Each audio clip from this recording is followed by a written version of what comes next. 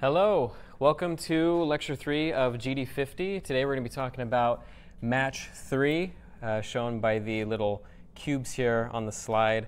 Uh, cube, uh, match three originated a little earlier than 2001, but the sort of the first big game that came out that was a uh, sort of genre staple of match three was Bejeweled, shown here on the screen. This is a more modern incarnation of Bejeweled, but it came out originally in 2001. It was actually a web browser game. And the formula is very simple. The premise is you have a grid of different colored or shaped items, um, usually pretty small, like 8 by 8 or so. And your goal is just to simply, like the name says, match three or more of them in a row. Uh, if you do, you get a certain number of points. Uh, matching usually more than three gives you more points or a bonus. And whenever you match three, uh, the blocks will disappear from the grid and they'll be replaced by more grid, uh, more blocks, and the ones that you uh, made holes for will the blocks above them will come down sort of via gravity. This is a more modern incarnation of the formula. This is Candy Crush, which I think most people know uh, was a very big uh, hit on mobile devices and otherwise around 2013, 2012. Um, and that's probably the more most recent big match three style game that's come out. But there are a lot of other takes on it, um, different versions that try to add new features and stuff. This is the sort of game that we'll be putting together today, um, and I'll show you how. And we'll be covering a few other things as well. So the topics today. We'll be covering, first of all, a sort of fundamental concept in dynamic languages, a lot of dynamic languages, and also Lua. Uh, it's called anonymous functions, which are functions that are first class, meaning that they operate as data types. And so we can do some fancy stuff with those. Tweening, which means just taking one thing and uh, sort of interpolating its value between two values from one to a destination value over time, which is a very important thing in games. You can do things like move objects. We can also tween their opacity, just sort of asynchronous behavior and asynchronous sort of variable manipulation. Timers, very important. We can time something to happen at certain intervals or after a certain length of time has passed to sort of get us past the idea of storing different timed variables or different counters and sort of uh, break away and keep timer objects that'll take care of this for us. We'll see how we do that with a specific library. And then we'll get into the actual details of match three and how to solve matches um, and how to sort of account for that, fill in the grid, uh, account for when we actually solve a match, and repopulate it uh, once we've done so. We'll talk about how to do, the, uh, do this procedurally. It's very simple compared to, I think, Breakout's sort of more procedural layout system, but it's still randomization, and we'll talk about that. And then last, if we have time, we'll talk about sprite arts and uh, sprite art and palettes, which is a big sort of fundamental thing when you're doing 2D game development and something that uh, this and Breakout's uh, uh, sprite sheet took advantage of was the idea of using on purpose a restricted set of colors, a, a, palette, for creating your 2D art, and there are a lot of really cool and impressive things we can do with that. Uh, but first, I'd like to actually show what we'll be running today in class. So I'm going to come here into my directory, make sure I'm in the right place, which I am. So this is part of the distribution code, which is online. So there's a match3 directory. And would anybody like to come demo it in class? All right, Tani, come on up. All right, so whenever you're ready, go ahead and just hit return here. All right, and so this is my implementation of Match 3. It uses a uh, sort of different set of tiles. We have things that are moving over time. Um, it's actually, it's a arrow key based. So, so if you, yeah. So if you press enter on any tile, you can flip it with another tile. It doesn't have to be a match in this case. So you can, yeah.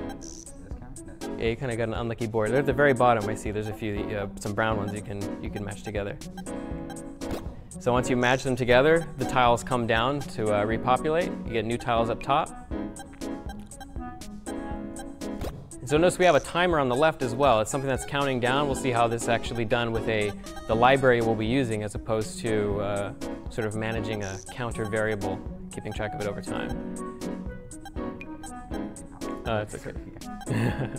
yeah, it's a. A lot of games will actually implement it so you have to. You can only, and this will be part of the assignment actually, where you can only move a tile if it creates a match. Uh, in this case, there's a, and we can see the timer sort of counting down, and then once you, yeah, if you don't get past the goal, yeah, there's a game over. But thanks, Tony, appreciate it. So that's sort of the game in a nutshell. Another thing I want to point out too is this sort of like the transition, the, the sort of the white transitions, and then the level text. Those are all done with timers that we'll be using in tweens, which we'll be covering in class here as some of our early examples.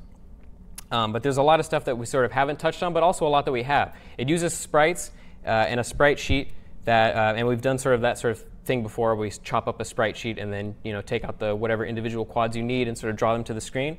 Here's what our goal is, which is you know we have a, a title screen with match three, start and quit game in this case. A little bit simpler, no high scores this time, just because we've already covered that. But we also have a level screen, tells us what level we're on before we can actually play. And there will be sort of a transition box with text in it. It'll come down, stop, and then come down again. Uh, so sort of almost like chain behavior um, which we'll see how we implement that too.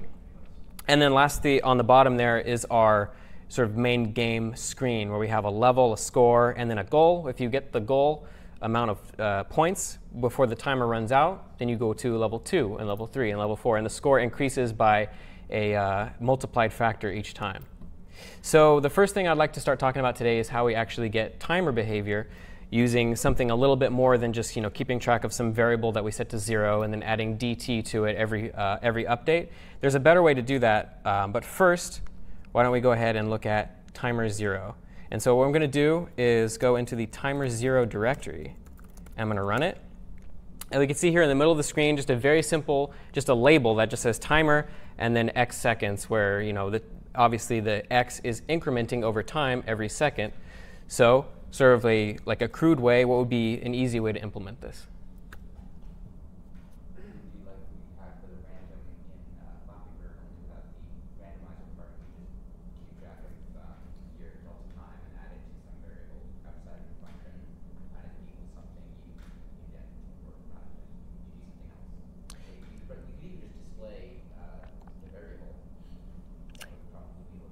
Yeah, so the response was keep some variable that you modify with dt in update um, or display the variable. Yeah, that's that's definitely what. Did you have something? Yeah, I was just going to say, keep like a float variable and constantly add dt, dt to it and display it, but display the truncated version. Yeah, so, uh, so keep a float variable, but just truncate the delta time off of it.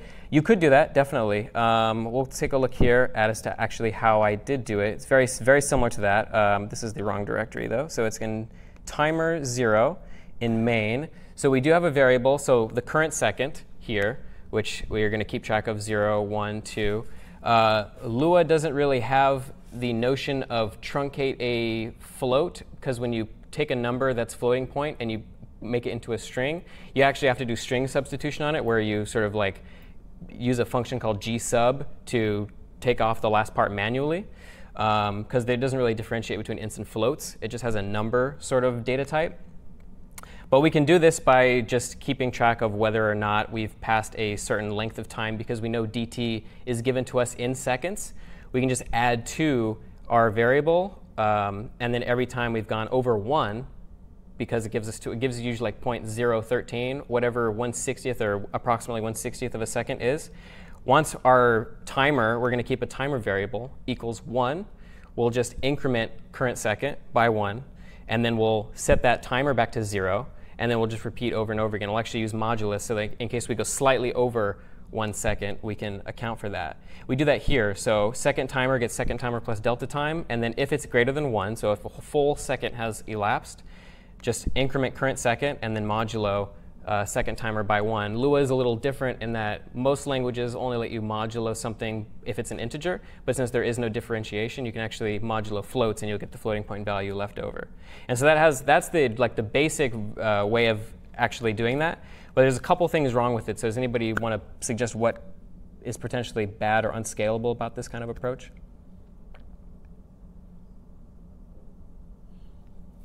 Well, I'll show you timer one so we can maybe get a sense of um, how this could kind of get out of hand pretty quickly. So let's say, uh, first I'll run timer one. So let's go into timer one here.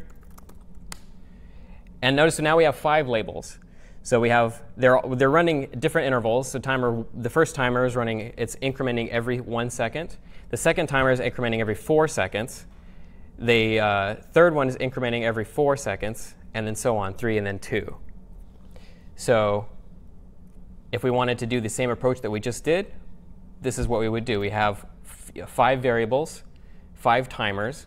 Because we want to keep track of whether or not something's gone over uh, more than just one second, it's not super easy to just put this all in a table and iterate over it and use your iteration logic to do that. We actually, because they're in some sort of random, you know, who knows what order, you know, timer two takes two seconds, okay, timer three takes four seconds, timer four takes three, and then two, you sort of have to unmanageably keep all of this uh, in separate variables. Yes, Tony?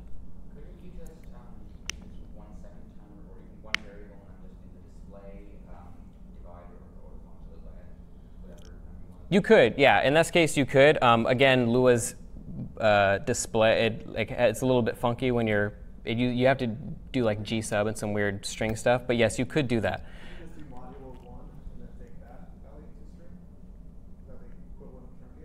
Uh, modulo 1 would still give you the floating point value because there's only one number type. So if we moduloed 1.00157 by 1, we'd get 0.00157. Oh.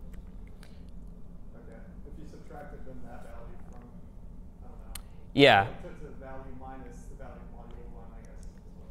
So yeah, the, we, uh, it was proposed that we use modulo, and we could, in short, we could, but what if we're not just doing, keep like, printing a value to the screen? What if we have like 10 different things, like 10 different creatures that are all doing different things, and we, over time, and we don't necessarily have to want to have to keep a timer for each and every one of those things. In a simple example like this, yeah, there's probably a, uh, on purpose, it's, it's also a little bit convoluted just to sort of illustrate the problem. But yes, there, there are shortcuts for this, but the fundamental problem is how can we get rid of like having like five different timers for something, right? So, um, and by the way, I'll go to the next slide. Timer zero, the simple way. Timer one, the, the ugly way. Timer two is the clean way um, that I found using this uh, sort of ecosystem. There's a wonderful library, and you could implement this yourself. The, the fundamental idea is have a global timer object that then manages all of these different things going on using the power of what I alluded to earlier, anonymous functions. And I'll show you how that works. So in main.lua of timer2, we have a set of intervals. We have a set of counters. Um, and then what we're doing here is we're just saying for i gets 1 to 5, we're calling a function called timer.every. So if you're familiar with JavaScript programming, there's like a set interval function which lets you do something every length of time. So this timer, so first of all, timer is just a library. We've just required it here. It's part of the knife um, ecosystem. Uh, and then here we have a couple functions, timer.every and timer.after, that we'll, that we'll use. Well, basically what it does is you give it a length of time, timer.every seconds. It's in seconds, and you can give it fractional seconds. You're passing in just a function here, just an anonymous function. It doesn't have a name, but it, because Lua and a lot of dynamic languages treat functions as first-class citizens, as it's called, um, because they are data types, you can just pass them into functions. Um, and this is simply this allows us to do behavior like this that we would that would otherwise be a little bit tricky to do. We can just say after this block of time, if assuming we've built some structure that is probably just storing a table with a bunch of things that have like a length of time in them. Just call this block of code later. It's called a callback function. We're just going to call it back, and then we're just going to do this. We're going to say counters i gets counters i plus 1. So we've had, we have all of these intervals and all of these counters. So it'll just basically manage that for us. And now we don't have five variables. We don't have, I mean, you do have to set your whatever your intervals, whatever you want those to be, that's your that's your primitive at this point. You just need the length the length of time depending on your problem. Um, in this case, that's all we need. You might need more than that if depending on what you want to do with timer. But in this case, we just want to increment some value over time. So keep counters and then just keep track of the intervals. And then our code's gone from I don't know how many lines. It was a lot larger. I think it was 96 lines down to 98 lines down to 70. And this is incredibly scalable. Now we just, if we wanted to add another one, it's like 8, for example. Uh, we just need to add 8, and then that, oh, well, I guess we'd have to, uh, I'd have to do this as well. I gets 5 to 6. And then I'm on a computer that requires me to auth my user so I can make changes. We'll just real quickly see if I didn't mess up. And so yeah, basically we're deferring everything to timer now. We get the exact same behavior, but a much smaller length of code. And the nice thing is it's very declarative. We can just say, okay, every the something seconds, I want this chunk of behavior to happen. I don't have to see, okay, I've got like timers up here, I got counters here, okay, down in my draw function, okay, I gotta draw all these. It's, it's, it's iterative and it's declarative. And that's sort of like the ultimate goal. And here at the very bottom, it did actually work. Now it's working every eight seconds, which is nice. One, two, there we go. Super easy to extend. Um, we're going to be using it a lot in this problem set and also in future lectures just because it's a lot easier than keeping track of a bunch of uh, uh, counter variables. And there's another one, another function that we're seeing here, timer.after, because sometimes you just want to wait a certain length of time. Like maybe you have every one second for five seconds you want a bomb to tick, and then after five seconds you want it to blow up. Um, and you could also model that with another function that we'll see soon. But uh, these are probably the two core like time-based functions. Um, and you can go here to this URL to see the knife library. There's a bunch of modules that are really nice. Um, we just happen to be using timer and its tween and every after functions primarily in this problem. But we'll use another one called event in the Zelda P set where we actually look at like how to dispatch events and like triggers and stuff and to prevent us from like checking every frame. Oh, what do we have to do? Like if some wall is broken this frame, then do this. We can just dispatch an event that we blew up a wall. We'll get to that. Uh, any questions at all about how like that model, those two models sort of differ and like how they work? Okay, cool. So uh, the next sort of thing I want to look at, so we can tie that back into also real quick if we want. Um, match three, whoops, and then there's a timer that's manipulating the text on the screen. The, all of those letters in the, this is in the uh, start state of the game code. All those letters have a color associated with them, but they're on a timer so that after every 0.075 seconds, they'll go to another color and to another color. And so we don't have to keep track of every letter's individual color and a timer for it. We can just change them all. Um, if we start the game, something else is on a timer. Uh, the timer actually there, which is just decrementing some value every one second, decrement timer by one, and that's it. And we don't have to keep any, we don't have to say anything more than just that, and that's what's really nice about using that kind of model. Um, so another thing that you probably also noticed, and I'll, I'll run it again, is this fade out and fade in, and also that animation. Those are things that are happening over time. We don't actually, we, I mean, we can just sort of manipulate them. We can keep track of some sort of counter for it. We can also just say, over this length of time, change this value to this value. And that's a much easier way to model the problem mentally. And so we'll illustrate that. First, I'm going to go to tween 0. So tween 0 is the simple way to do something. So I'm going to illustrate tweening here with Flappy Bird just going left to right. So up there, that's what happens when you print out the timer, the number, by the way, just by default. And so if you wanted to let's sort of truncate it, yeah, you could just G sub the first two I guess, depending on how large it is. Um, and that would have the effect of displaying it as just an integer. But we can see that over two seconds, we've had, and there's a little bit of overlap just because delta time can go a little bit over um, two seconds when you're adding to it because it just adds whatever length of time as a float has elapsed since the last frame. In this case, we're just adding it until it's greater than or equal to 2. So in this case, we went 0.01 over 2 by the time that actually ended. Uh, some iterations will be less than that. So this one will be, yeah, see that one was less than 2.01. It just depends on your computer and your specs. But Flappy Bird starts on the very left. So he's got an x coordinate. And then at the very end, he's got another x coordinate. So the simple solution is what?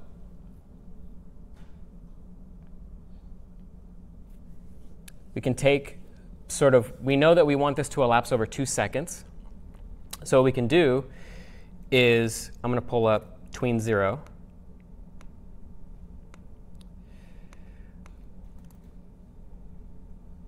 We have a move duration here. It's a constant, 2 seconds, just for the sake of this example. Uh, a sprite here, just a simple image. I'm putting everything in sort of one code file this time, as opposed to sort of breaking it out into subclasses just for simplicity, because these are such small examples but we're setting its x and y. Oh, and this is another Lua trick, by the way. You can assign two values to two, two variables to two values using a comma here. So flappy x, comma flappy y gets 0, and then virtual height divided by 2 minus 8. Setting its x to 0 we have a timer here, um, and then it's end x, so we want it to end at the end of the screen. So we're going to say virtual width minus his width. And then the usual boilerplate for getting a project set to go. If it's less than the move duration, so if timer is you know, 0 going up to 2, but it's not quite 2 yet, uh, we're going to add dt to it. And then we're going to basically assign it to either the, the lowest of end x, so it'll, no, it'll never go higher than end x, or end x times the ratio of timer over move duration. So timer over move duration, if it's less than 2, that's going to be some value, some fractional amount less than 1. So it's going to basically just scale it depending on how far we've moved uh, the timer uh, between 0 and 2. So just a scaling operation. This, will, this happens to only work in the context of moving something from left to right or from 0 to something else, but it's a crude, basic way of illustrating like a very basic tween operation. That's what it, it essentially is. It's a multiplier of some ratio of how much time has passed versus how much time we're actually looking to elapse. And that has the effect, once again, of just, you know, it's scaling. The ratio, because it's you know, it's timer over move duration. It's something over 2, but it's not quite 2 over 2. Until it gets 2 over 2 and it's 1, then end x times 1 is going to be end x. But before that, it's going to be some fraction of end x between 0 and end x. So it has the effect of giving us a very basic tween. But it's a little bit, you know, we have a little bit to manage here. It doesn't, it's not, it doesn't really feel super clean. Uh, do you guys have any questions about how this works? OK. So we're going to go here so first of all, any like thoughts about how that might not be super scalable? Looking back at like the last example.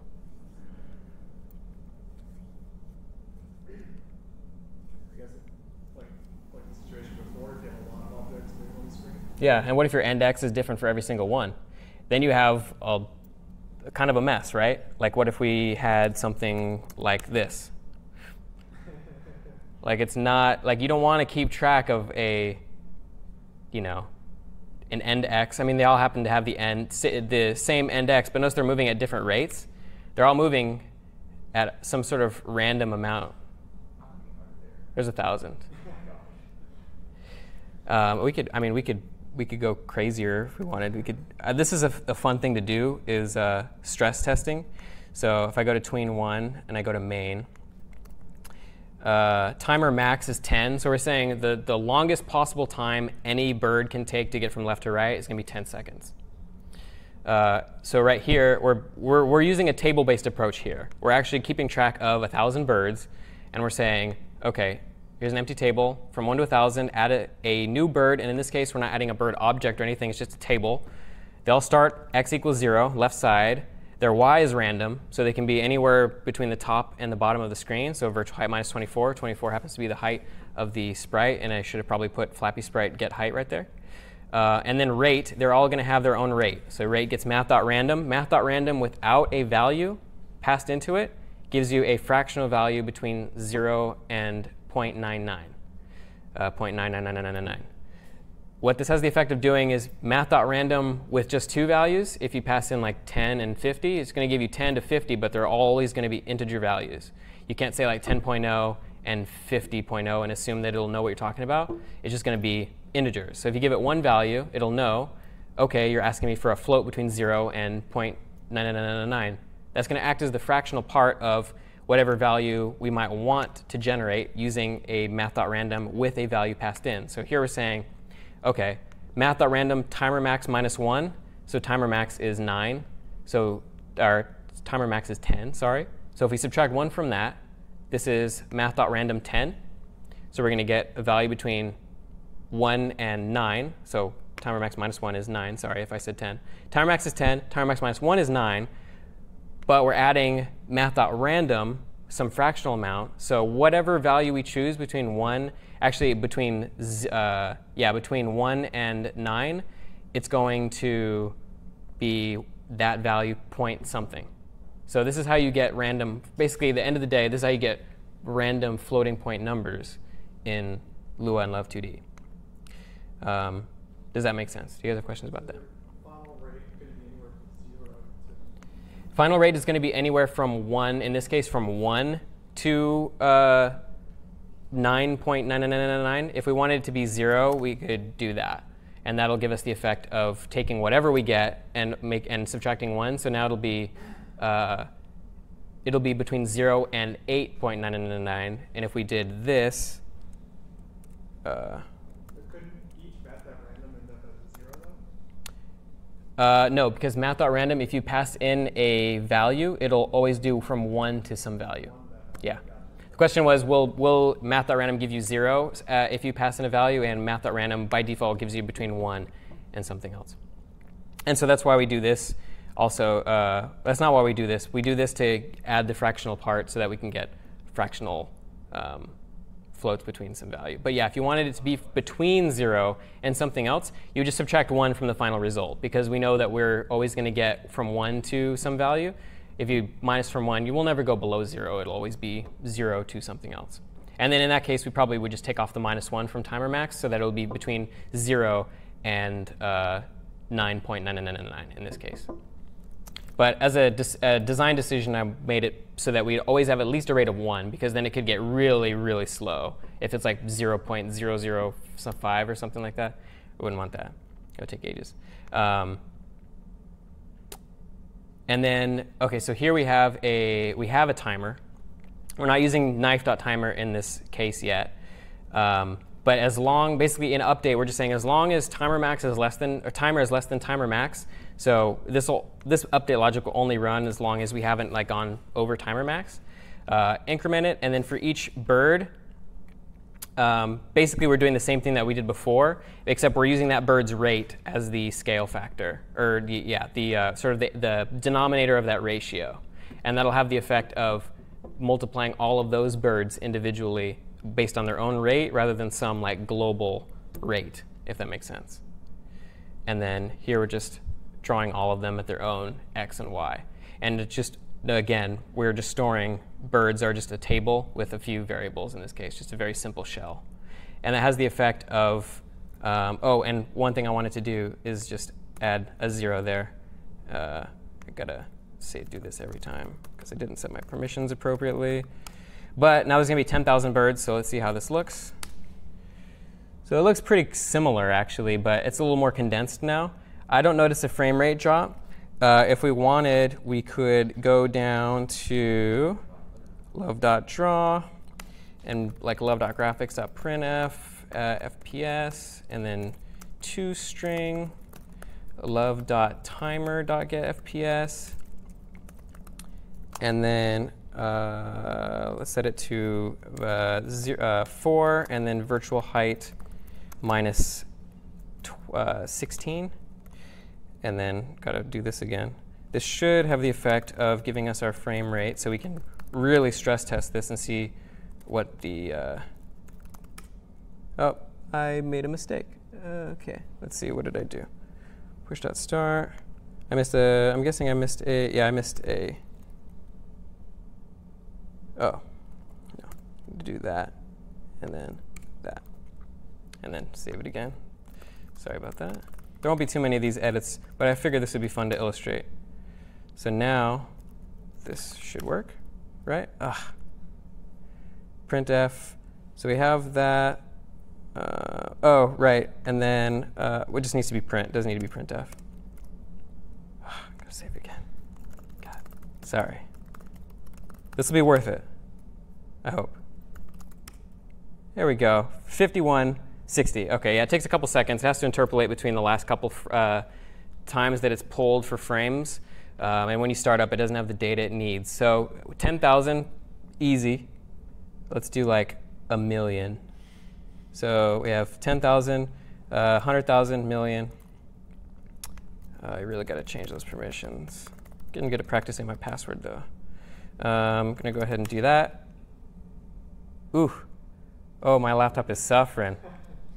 Oh, man. But they're all moving independent of frame rate. This is just a testament to how powerful delta time is. They all moved there after 10 seconds. I mean, we got to like 10.6 seconds, which is not good. That means that's how long passed between the last frame. But um, my laptop clearly cannot handle a million birds on the screen, but it can handle like 10,000 or maybe even 100,000. Um, and that's just a fun way, like a fun thing to do in general when you want to sort of stress test your game is just like put the frames per second on and just like go nuts. Just like add a lot of stuff. Just see what your computer is capable of.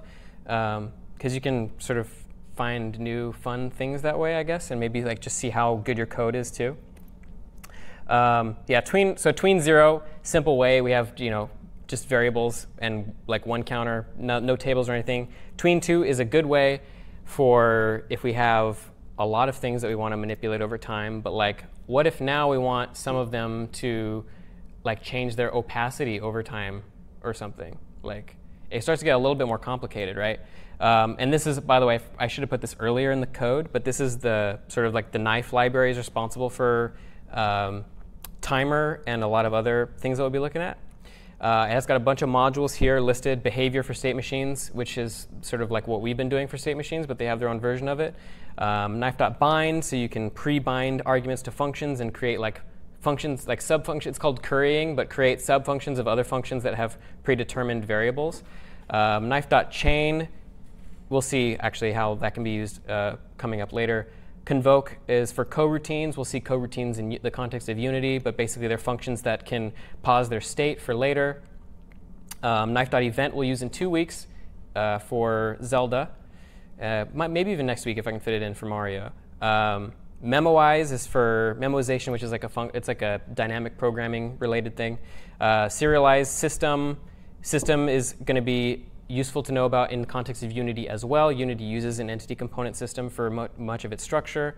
Knife.test, and then lastly, knife.timer, which is what we'll end up using. And this is probably my favorite um, sort of library that exists in the Love 2D ecosystem. And so with that said, we'll look at tween 2 now. I'm going to go here into tween 2. And so now we have not just movement, but also their opacity. Like they all start at different opacity levels, and we want to not only change their movement over time, but also the opacity, right? So it would get a little bit trickier um, if we decided to do that with our current situation. Totally doable, um, but like how how would we go about changing just right now their opacity, just as is? How do you change a sprite's opacity?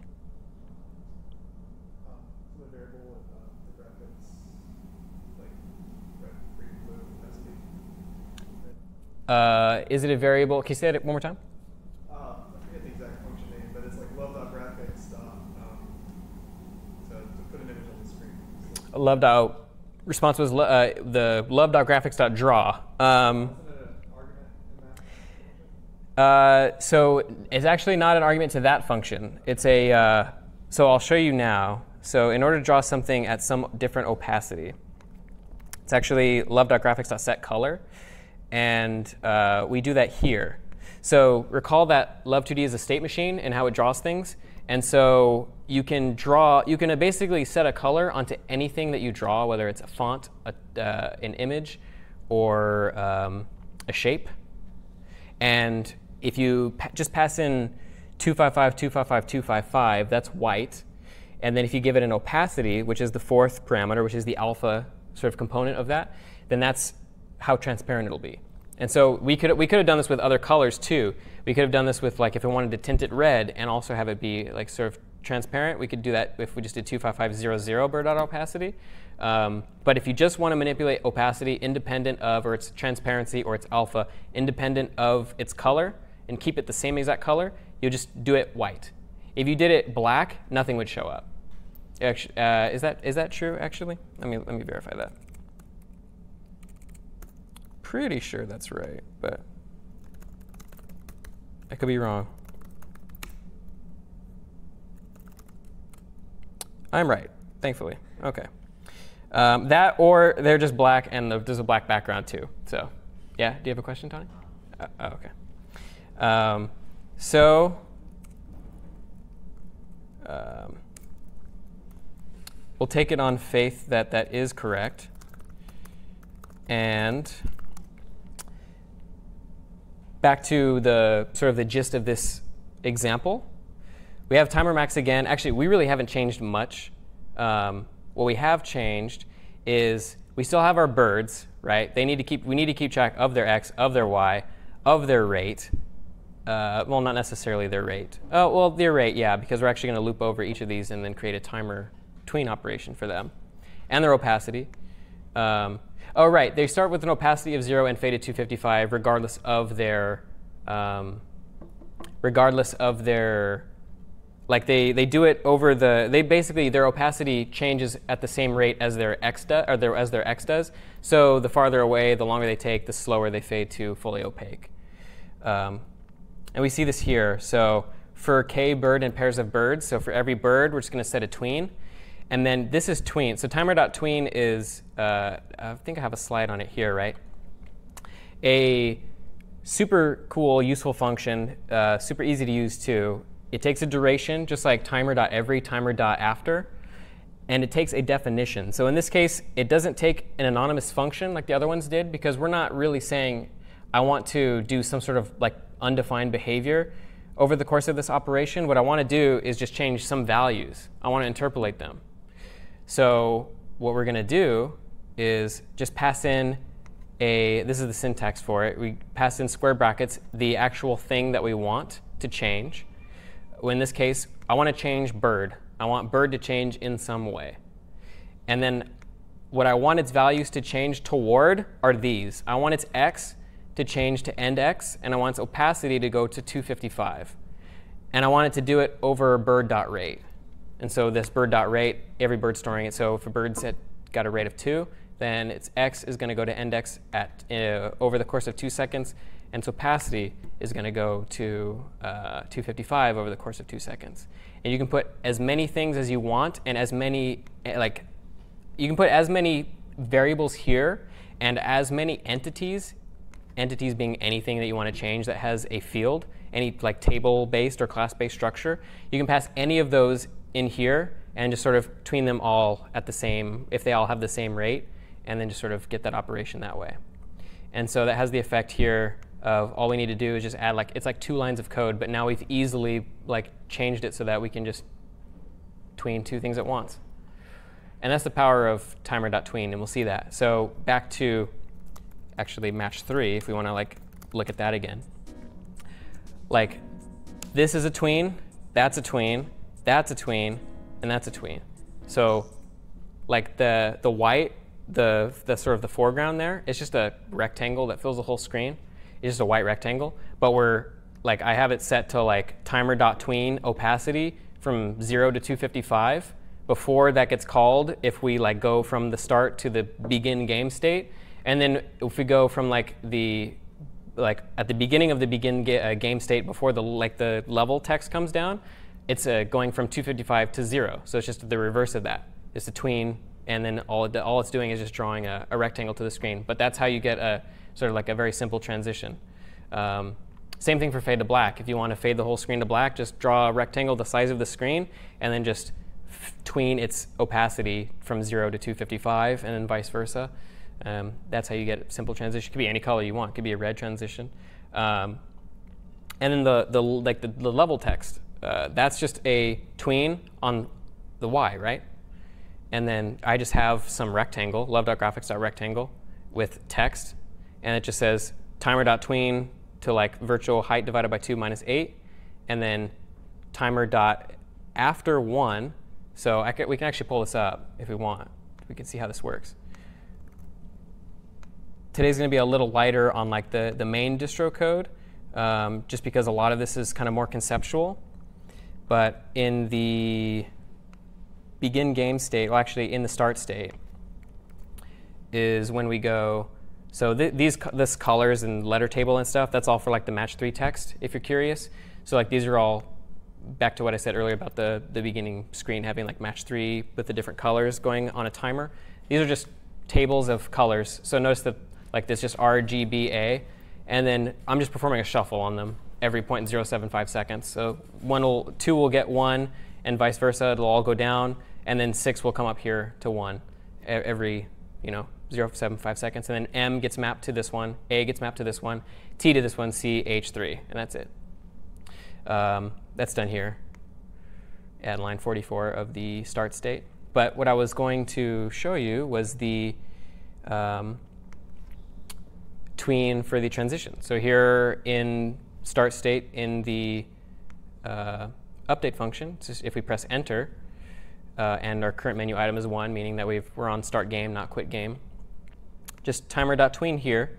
And notice that we have a, a finish function, which will show, I'm actually going to show you in the next couple examples, uh, the chain examples.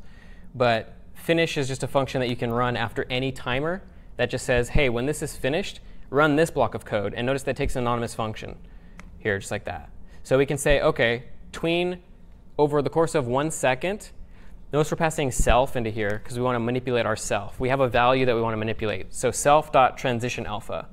So we're saying, I want to take my transition alpha and I want it to go to 255. And we set it to 0 by default. So at the very top here at line 60, transition alpha is just our white rectangle that fills the screen. I'm just saying uh, set to 0 so that we don't see it at all. It's going to be invisible. It's still there no matter what. Um, it's hidden. But after we press enter, tween it to 255 over the course of one second. And then when that's finished, notice this is familiar, right? G state machine change begin game. We're going to go to the game state, the begin game state after that. We're passing a level gets one. We're starting the game. And then we're going to remove this color, uh, remove that timer from the. This is actually um, unnecessary in this circumstance, but you can remove timers from timer. Like if you have something going constantly, in this case, the color timer, and let's say we move from this state to the next state. The next state doesn't have all those colors, right? So the match three colors. So we don't need to keep, because timer is a global object, it's going to keep updating over and over again. We don't need uh, we don't need certain timers to exist indefinitely. We can just remove this one because it's not relevant anymore. But this is all it takes just to give us a simple like transition from one screen to another. Just give this uh, transition alpha 255 down in the actual render function, uh, where is it? It is uh, ba -ba -ba, right here. So right here, draw our transition rect. It's going to be drawn last so that it draws over everything when we finally do get a transition. But self.transition alpha, and that's all we really need. We just need the we need to keep the va variable and then whenever we want to perform like some sort of operation over time, just use timer.tween. It's that easy.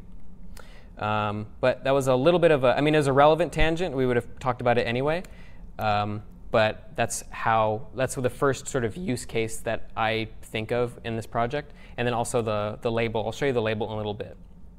But um, I think before we do that, let's talk about chaining. So you guys have probably played a lot of games where like maybe there's a cutscene and you're looking at a character and they're like they walk and then maybe they turn and they walk another direction and they walk up and then they like speak to you. There's like a dialogue box and then maybe they do like an animation or something and then maybe some other things happen that are like on some sort of predestined path.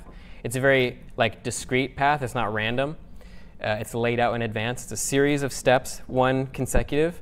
Um, that's sort of that's the concept of chaining things together is relevant when we get to um, sort of timing things because when we finish timing something, because usually a lot of those things happen like over the course of time, right? Like over the course of like five seconds, NPC one will walk up north and then they'll turn left and then they'll say something. We want to like we want to model that. We don't want to basically have variables that say if NPC one is at this tile, then do this. If npc.dialog open, then do this, then you know wait for key. We just want to we basically want to say walk here, do this, do this, do this in like a flat sort of like easy or at least semi-flat um, easy sequence uh, sequence of steps. And uh, I have a few examples to illustrate how we can do that using timer uh, for some semi-basic use cases. So chain zero is the first one. So this one is just Flappy Bird. He's going left to right, then he goes down, then he goes back left again, and then he goes up. So like what's the what's the like the basic way that we model this? That we implement this? Just off the cuff.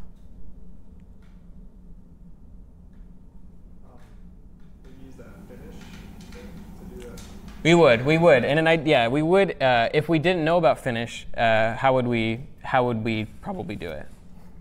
I shouldn't have given away finish before before I got to that example. I kind of got ahead of myself.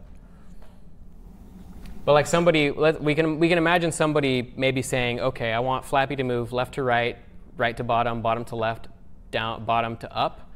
Maybe they have, maybe they're going to say if Flappy is like less than, or like has reached first point, move left, and else if he's reached bottom or point two, move down, and then move left, move up, and in those ca- both of those cases, he's, you know, they're uh, sort of uh, imp- or uh, changing the x and y value of Flappy, and it's basically just a lot of like ifs and like state variables. That's like uh, you, I see it in a surprising amount of code, just like state being kept all over the place.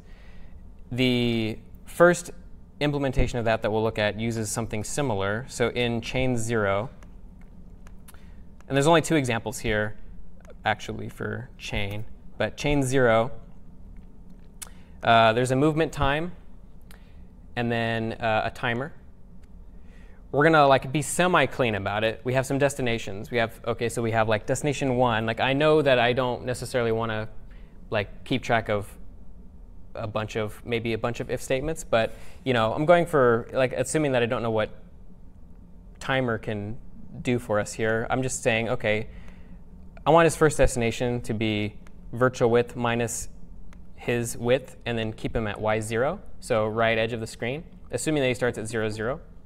And then I want his second destination to be that same side on the x-axis, but I want it the y to be virtual height minus his height. So go to the bottom of the screen. Then I want it to be 0 and his height from the bottom of the screen, and then zero, back to 0, 0. So we have those modeled. Um, and then I want to keep a flag in each of those. I want to I want to know whether he's reached that state yet. So I'm going to go I'm going to iterate over that table I just created and just add a new key to each of these called uh, reached and just set to false. Just by default, he hasn't reached all of them yet. And then in the update, basically, I'm going to set timer to the min of movement time. So it'll never go higher than movement time. And then timer plus delta time. And then for every destination in destinations, if it wasn't reached, then set its x and y, flappy x, flappy y, which are in this case we're uncleanly using global variables to sort of keep track of this. Uh, flappy x, flappy y gets base x. So notice another problem. We have to maintain where we are relative to our next spot in order for this math to work. Because we before we just took his uh, Flappy Bird's uh, basically the, the timer divided by movement time was our ratio where we scaled the end destination and assigned that to Flappy, which had the effect of you know moving Flappy left to right. But if we do that in the opposite, right to left, it's the math isn't the same because he's going he's going backwards. He, he's getting negative values added to his um, to his x value. So we need to keep track of a base that he started at for each of these operations, base x, base y. So at the very beginning, base x, base y is 0, 0, so it's actually going to be much the same. But as soon as Flappy gets to the right edge of the screen, we want base x to be the right edge of the screen, base y still 0, and then uh, if he goes down, we want base y to then be bottom edge of the screen, base x to be right edge, and so forth. So what we do is we just scale. Uh, we're still using a timer over movement time as our scale factor, but we're adding our, the difference of our destination and our base and uh, we're multiplying by that scale factor instead. And so this difference, if we add it, whether we're moving left or right or down or, uh, or up, it's going to have the effect of filling in that gap, of bridging that, no matter where we are, no matter which direction we want to go. And so this is, this is basically uh, a fairly um, complete linear interpolation algorithm, which is the basis of tweening, just interpolate some value between another value. Um, in the case of, uh, it's usually modeled in geometry as uh, the line between two segments. Um, and then if timer gets movement time, we reached our destination, reset the timer, reset our base x and y. And that has the effect of just doing what we saw earlier, which is just putting them direction, point by point. So any questions as to how this sort of interpolation, how this way of modeling the problem works? All right, so there is a better way, a much better way, thanks to finish, timer.finish. Um, which you can uh, which you can apply to any timer operation, including timer.tween. So we can basically say, okay, once that operation is finished, do something. And this is all we have to do. We just have to say timer.tween. We no longer have to interpolate at all. That's taken care of for us by timer. So we're uh, doing timer.tween over movement time, flappy, set it to, this was before we add all this in a destinations table with reached flags as well. Now we just have the x and y here, just x. So on the first movement, we want his x to be right edge of the screen, just like before, y gets 0. Once that's finished, anonymous function with another timer.tween. So we're saying, OK, once you're finished, then tween him from the right edge, top right edge, to the bottom right edge. So y gets virtual height minus flappy sprite get height. And then once that's finished, another anonymous function, another timer.tween, another finish, another anonymous function, another timer.tween. And this is, in its own way, unscalable. It's nested. It's called, there's a term for it called callback hell, because you just get infinite sort of like downward sloping anonymous functions with all this behavior. Um, there are ways to flatten it, and we potentially will talk about it. It's, it's part of knife.chain. Knife.chain has a way to turn all of these basically in, basically it would look something like this. It'd be like chain, and then it would be like move flappy xy, move flappy x2, y2. It wouldn't be x2, y2. It would actually, we'd actually write these out here, but it would have the exact same effect. And that, that's, this is sort of like a, if you're looking to maybe implement like a cutscene system or like just some sort of scripting system for your game that's very declarative and uh, sort of imperative in style, like this is sort of like this is like the holy grail of like chain of like chaining behavior and getting it to work and just like making it look nice and readable. Yeah. Well, you could also you could pass in a function to it. I think too, the, you could pass in a table to the function of x's and y's, and you can for loop be similar for Montel to chain a lot of things. Yes, you could do that too. Uh, the response was you could pass in a table to uh, you could iterate over a table, and within that table, generate a timer.tween. Um, the only sort of issue comes about with finish. Um, and there is a way, I guess, because I guess you could get a reference back to the timer and then add a finish block to it. Um, but then you would sort of lose out on. I mean, that it that does work for yes for like the same function if it's the same, like if, if all you're doing is moving something to a bunch of locations, that's absolutely true. But if we wanted like Flappy say something and uh, hero like disappear and then uh, hero flash, it, it's a little bit trickier to do stuff like that. But yes, I agree. There are ways of modeling. Th this particular example is a little bit repetitive and could be modeled, I think, better with a um, function that takes advantage of the fact that timers can be returned and then given new function finish variables. Um, I'd have to experiment with it to see, because I'm actually not 100% sure that you can add a finish. Um, no, I think you can actually. I think you can add a um, finish function to a reference, because it's just a function on an object. So yeah, but in the independent of that, I think the goal probably is um, one, knowing how we can now chain behavior, and then two, sort of striving towards flattening it. But in the purpose of this problem set, we'll see this a couple of times, and I mean, it's just worlds better than before. I think, what's this, 76 lines, and then tween one or chain zero was 96? Okay, so 20 lines of code. I mean, yeah, and also the fact that now we have a declarative interface for modeling asynchronous behavior, like that's really the fundamental thing is not having like some value that models your duration or your counter or whatever value, but just saying, hey, over this length of time, I want you to do this, I want you to do this, I want you to do this, I want you to do this. After this length of time, I want you to do this. Um, and yeah, so I think it's that um, that I always like to try and strive towards like making code as declarative as possible, just so that you can read it in the future, and then like your, uh, you know, the people working on your code base can also read it well in the future. And I think Timer does a pretty awesome job of that. And this is a, just a reference for timer finish. So it just takes a callback, and then once a timer function tween every or after has completed, it uh, triggers that callback. Um, so we're going to take a break for like five minutes now, and then once we get back, we'll talk about swapping and some of the algorithms we use in Match 3, uh, starting with just rendering a board, getting tiles to swap, um, tweening them, and then we'll actually look at how we take falling tiles and account for them and then repopulate them. But yeah.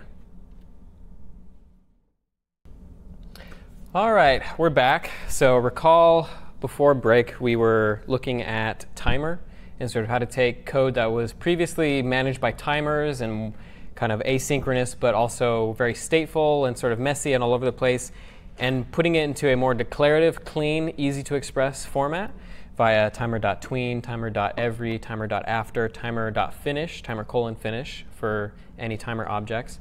So uh, with all that out of the way, now we'll start talking about the actual match three mechanics. And the very first thing that we'll look at is swap zero. And this is the sprite sheet for match three that's included in the distro. So uh, as we can see, it's a something that we can easily chop up with generate quads, as we saw before, just a function provided in util.lua.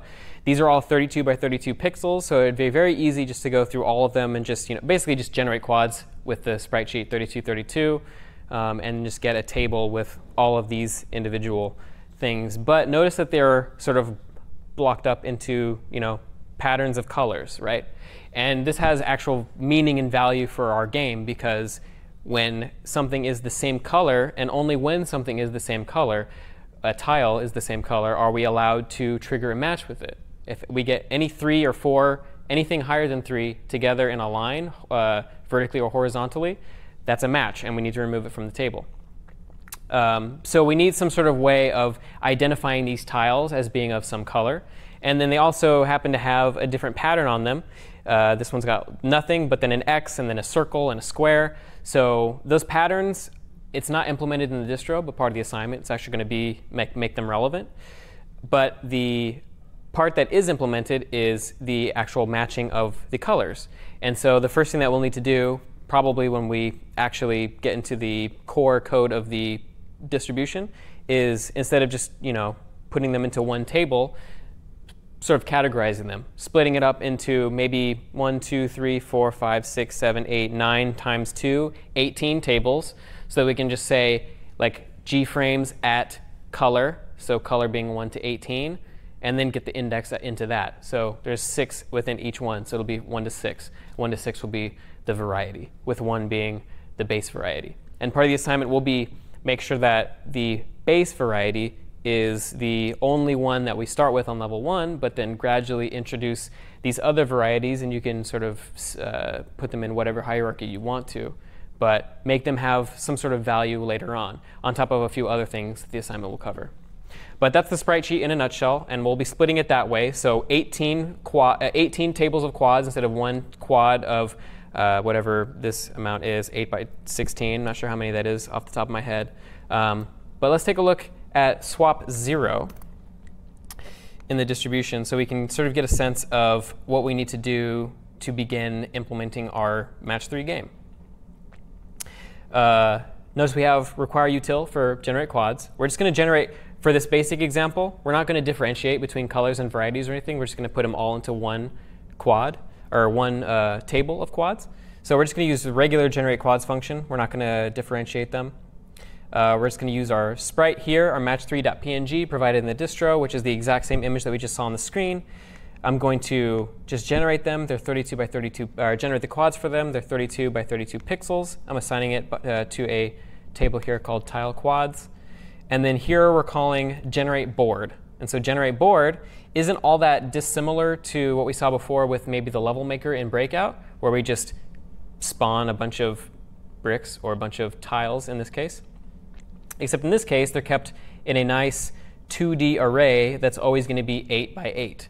And so that's never going to change. Uh, just by the sort of like one of the constraints of the game. Match 3 traditionally is an 8 by 8 grid that's always full of tiles of some variety. So local tiles it's going to be an empty table, and then we're just going to do a nested for loop here. y to x, the standard is usually y uh, first and then x, and then we index y before x, just because the individual rows of the like in a, in a 2D array or sprite or uh, table will be um, such that, for example, if our table was equal to this, oops, sorry, syntax bug. If we did this, and then we have a table here, and a table here, and a table here, and we had like 0, 1, 1, 1, 1, 1, 1, 1, and then 1, 1, 1, 1. If we index into this table, so table at 0, that's going to give us another table, right? That's not going to give us a, a, that if like let's say we wanted to go like uh, we wanted to get the core the value at table 2 3. The instinct might be to think, oh, okay, I'm going to index at xy, just because xy tends to be more commonly seen. But if we did that and assumed that x was horizontal and y is vertical in this arrangement, which is how we have it, then table 2 wouldn't be this value here. Table 2 would be this table here. The first value you pass into indexing some table is, uh, when it's a nested table, is just in fact the table itself, which is why we actually need to do, when we want to get some value, we have to index at table yx. So it's, it's flipped for that reason, because x is actually going to be, the, fir the, the first index is going to be these sort of sub tables or sub arrays if you're in like C or Java or something like that. So when you see table yx and you're wondering why it's not table xy, uh, that's the reason. So any questions as to why that is or how that works?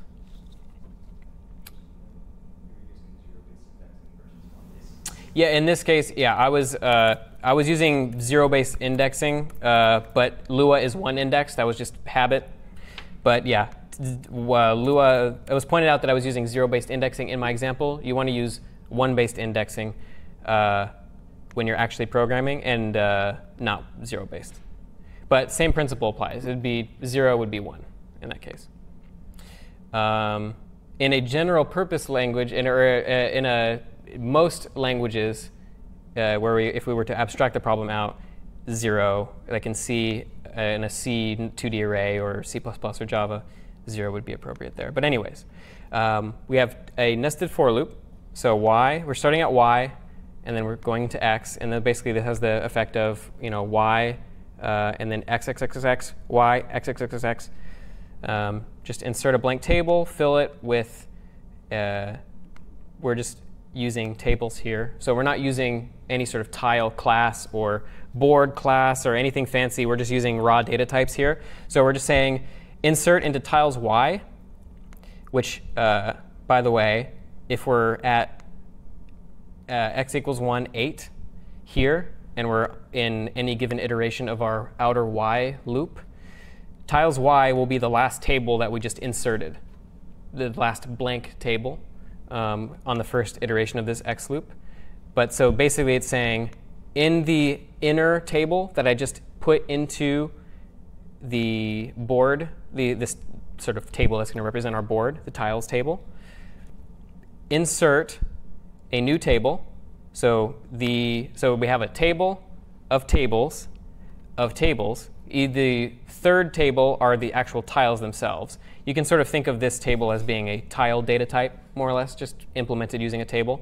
That has an x coordinate, a y coordinate, and then a tile. And the tile is going to be a random number that's going to be the index into our quads.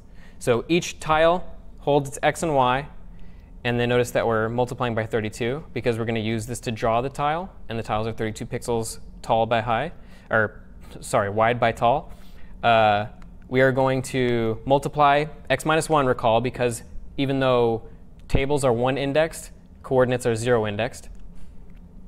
So x gets that times 32, y gets that times 32, and then get a uh, random number between 1 and the number of quads in our tile quads table. So recall this number sign here is just a shorthand for length of the table. And then we're going to return it. So we generated our board. It's a, it's a y by x grid of little tables, of, of table rows of little tables that all have an x, y, and a tile ID. And that tile ID maps to the quads that we just generated. Uh, if we go up to, OK, that's, the, that's it for the init function, the load, sorry, love.load in this, in this example. The uh, love.draw uses a function called drawBoard, and we pass in 128 by 16. The 128 by 16 is just x, y offsets. We're going to draw our board at 128, 16. And this is going to center our board. Um, and then if we go down to draw board at line 89, gets an offset x, offset y. Nested for loop again, we're just iterating back over the tiles that we got. And recall, actually, generate board returns tiles. And then we set board equal to the result of generate board. So down here in line 89 again, in draw board, actually uh, line 95, within this nested for loop, we're going to get a tile at board yx, just so we have a shorthand reference for it. We don't have to say board yx several times, which you would have to here. We're just going to draw the sprite, the quad at tile tile, tile.tile, which recall is a random number between 1 and whatever the number of quads we have in our tile quads table. And then that x plus offset x and the y plus the offset y, which has the effect of drawing every single tile in our grid at some given offset. And that has the result, and I probably should have run this actually in advance just so I could illustrate it. Oops, cd swap 0. But we have a simple board. Looks nice, it's colorful. Um, but it's very, very basic, just a 2D sort of render of our game. There's no behavior or anything, just, just how we draw the board.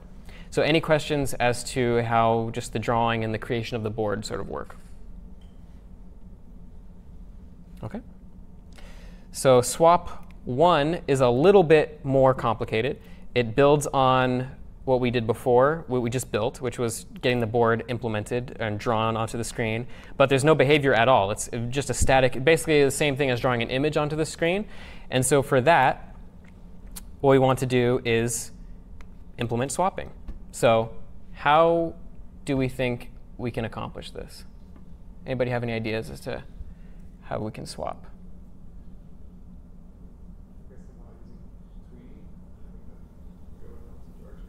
Well, we could. Yeah, we could for, um, I mean, that'll have the effect of, I mean, I'm assuming uh, the response was we could use tweening.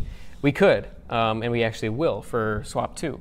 Um, but it's going to be a little bit more complicated than that because they're in a 2D array. So if we just tween their x, y, they will be in the same. They will be in the same place in the array. Um, but yes, ultimate switch the position in the array and then reload the array. We will switch the position. We don't have to reload the array, but we can. We will switch their positions. Yep, that's effectively what it is. Literally, just take two tiles and sort of like swap in CS50, where we just take two variables and just assign, get a temp variable that like points at one variable, gets its values, while the second value variable gets the values of that one, and then uh, vice versa. I think uh, this one gets this one's values, this one gets this one's values, and then this one comes down to this one, basically. There's the middleman that keep, because if this one gets this one's values, it's going to get overridden uh, by this one's value. So there will be no reference to its x, y, or anything. So that's why I need to store this one up here. So this one can come here, and this one come back down here. So we've done a, a swap, effectively. And there's ways in Lua to do swaps, as we saw before, without even needing a temporary variable. You can just do x, y, get some other x, y, which sort of bypasses that. Um, but when you start to do like four things getting swapped at once and you have like four commas, it can get a little tricky, um, a little bit unwieldy. I'm actually not 100% sure you can unpack more than two things in Lua. I'll have to double check on that. Um, but I mean, right off the gate, we're seeing that double assignment here on line 32, highlighted x, highlighted y, gets 1, 1. And let me actually run, um, just so we can see, there's actually a couple of pieces here besides just that. Um, oops swap one. So we have the board as before. We also have something to like show us where to swap, right? Because we have to know where we're swapping the tiles. In an ideal implementation, which is an optional part of the assignment, you would have a you would have mouse behavior for your game. So you can just click on two tiles or click and drag and swap them. In this case, we're not doing that. We're just implementing key bind, uh, key-based behavior. So when I press left, right, up, or down, I can move. If I press enter on a tile, and I move around, it's an indicator to me that I've selected that tile to swap with something else because it needs to keep track of, okay, you want to swap this tile. What do you want to swap it with? I want to swap it with, I want to swap it with this tile. So they get swapped. Uh, I want to swap it with this tile. So they get swapped. Or this tile.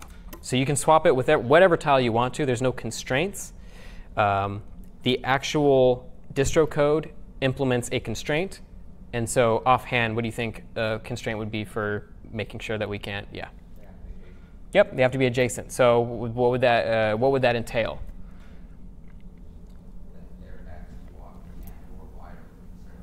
Exactly.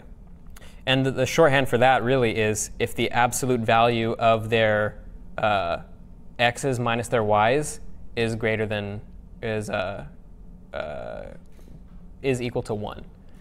Because if you subtract one's x from another one's x, and then one's y from another one's y, and then you add the differences together, that'll tell you whether they're directly adjacent to each other. It has to equal 1. If it equals 0, then the x's and y's are the same. If it equals 2, then the, either it's like two tiles away on the x-axis, or it's away on the x and the y, in which case it would be diagonal to it. So the only way is, oh, it's x's minus its x's, tile1.x minus tile2.x, and tile1.y minus tile2.y. If their absolute value of their um, difference is 1, then they're adjacent. That's in the implementation. Um, so yeah. Um, so this is why we have these variables here, highlighted tile. Uh, basically, we're setting a flag saying, do we have a highlighted tile? If we do, um, we're going to perform some like drawing logic later down in, in the draw function. It's going to just draw basically how would how would we draw a highlighted tile? Do you think? Exactly. So the answer was add a rectangle with transparency. That's exactly what we do. Um, I'm going to go down to the this part here. So on line 173, if we have a highlighted tile, um, and basically, this is in the middle of a, of a loop, the, our yx before. Uh, we've put it into a drawboard. We, ha we have the drawboard function. But xy, or yx, um, tile is going to be whatever tile we're currently on. And if we do have a highlighted tile, and that tile's grid x, notice we now have a new variable called grid x as opposed to its regular x, so that we can check for these sorts of things to see where it is in the array. If its grid x is equal to um, whatever we've set highlighted x to, and grid y is equal to highlighted y, then set graphic, set uh, color, love.graphics set color, half transparency, and then just draw a rectangle um, with this 4 at the end of it, which actually draws a rounded rectangle. So you can pass in, if you pass in no 4, it'll just draw a straight rectangle, but if you pass in an int at the very end, that's how many like rounded segments basically that rectangle will have. So you can get like rounded corners on your rectangles. And it's good for like in uh, like UI drawing and stuff like that. We use it uh, a little bit in the distro. So that's how you get a highlighted tile. Um, there is also a selected tile, and a selected tile is just draw a rectangle. Um, same thing, but it's a line this time. And there's always going to be a selected tile no matter what. So we're always going to draw it here at the end of our render function. It's just 255, 234 for the opacity so that it's just kind of transparent, but not like super transparent.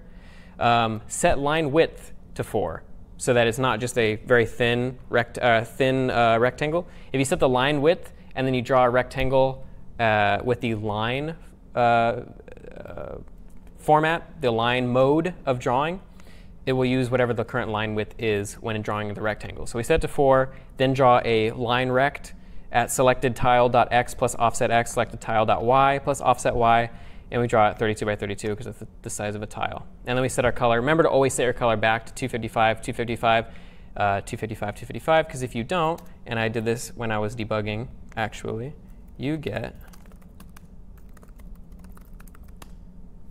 some fun stuff. Wait, was that the right one? Uh, did I? Oh, I might have fixed it up above where we um, there was an issue, if, if you don't set your, um, basically your color and you set it to red, everything will draw red after you've done something. So if that ever happens, remember to set your color back to 255, 255, 255, 255. At the end of any, any time you change the color in some way like I'm doing here. Alternatively, you could also make sure to always set the color before you draw anything. Yes. Yeah, the, the response was make sure you always set the color before you draw something. Uh, I think that's what I ended up doing in this distro, which is why it's not working anymore. I think it was, where was it? It was here, but I, I must have fixed it because I, I accidentally left that out when I was debugging and then ended up drawing everything was red. So just as an aside, just because Love2D is a state machine. But yeah, drawing it beforehand is uh, definitely the safer way to go too. Um, back up to, so like the core of this, because we're running a little low on time, the core of this overall block of code is just the swap here. So if there's no highlighted tile, so basically if we pressed enter or return, now we have all input handling in love.keyPressedKey. And by the way, this is input handling to like change the x and y of our selected tile. Um, if we press enter, and we don't have a highlighted tile, then we need to have a highlighted tile. Otherwise, we should swap them. So we get a reference to tile 1 and 2. We swap, we, we create temp variables. Recall, we need to have that middleman up here that keeps track of this tile's information. So it's going to keep track of all tile 2's information with temp x, temp y, temp grid x, and temp grid y, because we need to not only change their x coordinates, but also their grid positions. And then we need to uh, create a temp tile here and the basically, here's where we actually swap their places in the board. So tile1.gridY, tile1.gridX gets tile 2. And then we're, we're getting a reference to temp tile so that we can, um, because if we set board at wherever tile um, uh, 1 is to tile 2, we won't have anything where tile 2 is. We need to have like a temp tile to keep track of tile 1. Or sorry, uh, we won't have anything at tile 1 if we overwrite it with tile 2. So we need a reference to tile 1 here so that we can put it into where tile 2's spot is right here. And then we need to do that before we actually, um, all that before we end up swapping their coordinates and tile grid positions. Otherwise, you get weird buggy behavior when you're like moving the selected tile around. And then we can unhighlight and then reset our selection because our selection is also going to get changed after we do the swap. So we need to put it to the second tile um, because it gets swapped with whatever tile we're uh, highlighted. And that's the that's the overall gist. Is it's like basically taking two tiles, like flipping their information, storing a middleman. Same thing in swap in CS50. A little more complicated though because these all have like subfields that all need to get manipulated. And this a lot of this can actually be done mathematically. You can actually have uh, its grid or its uh, x and y mathematically derived from its grid x and grid y. Just multiply by 32. Um, in this case, I just kept them as variables and separate. But yeah, you could just do that too. Um, and that has the effect of swapping the variables whenever we move them. And then that's the, that's the fundamental like first step in like match three is just like swapping any two tiles in a given position. So does that like make sense altogether? OK.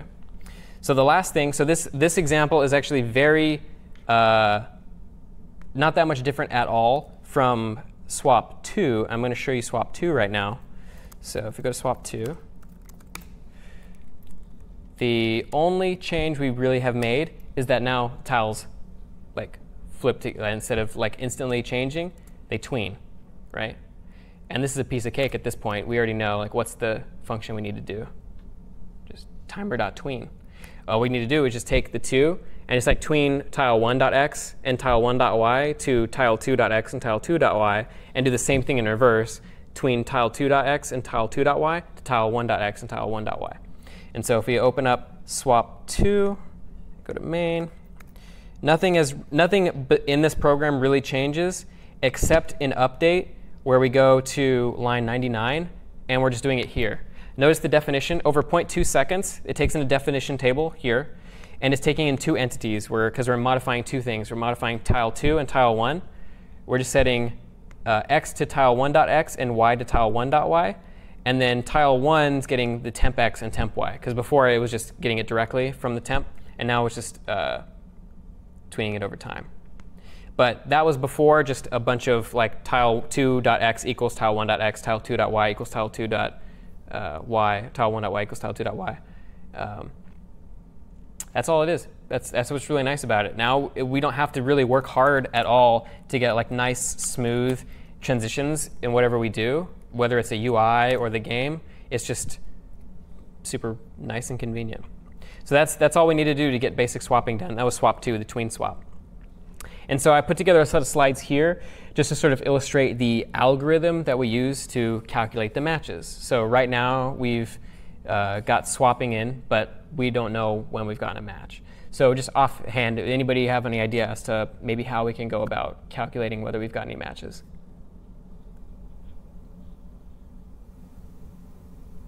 Yeah.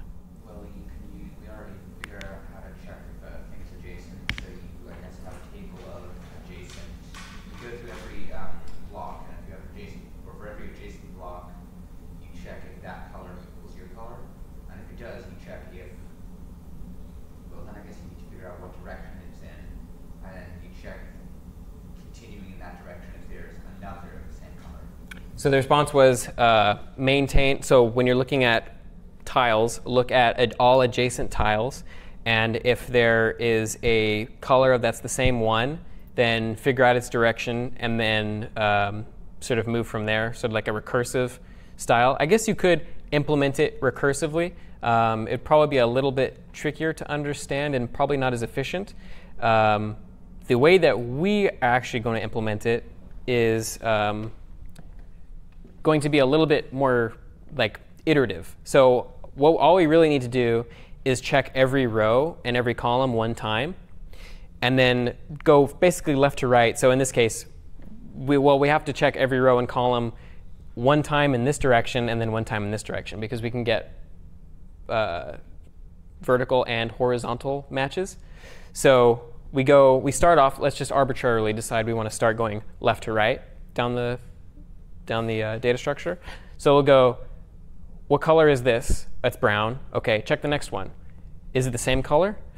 If it is, then sort of say, okay, the number of matching tiles that we've found so far is two. If it's greater than three, then later on we'll need to like add that group as a match to our uh, to our list of matches, basically. But if it's not, okay, then number of matches is one again. So set it to one, and then do the same thing. Same color? No. Okay, number of matches is one.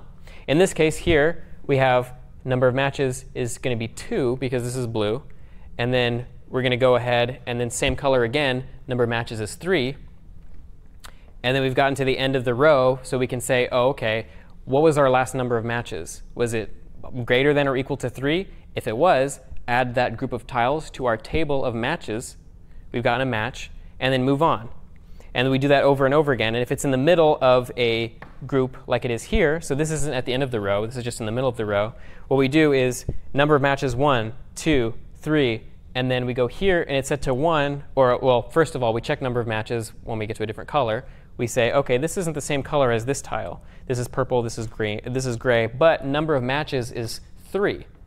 So what we do is we just add these three tiles to our we we keeping a like a table of matches because we're going to go through and we're going to delete all of them, and then eventually we're going to um, do some tweening as well.